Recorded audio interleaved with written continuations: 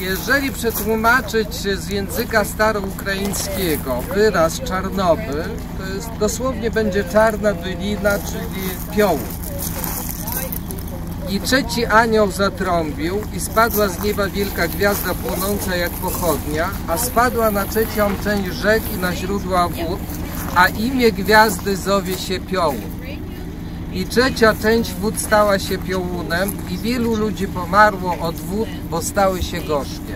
Powiem Państwu tak, że 20, raczej 1 maja, kiedy oficjalnie jużśmy się dowiedzieli o tym, że była awaria na czarnobylskiej elektrowni jądrowej, pierwsze skojarzenie jakie mieliśmy to właśnie z apokalipsą świętego Jana.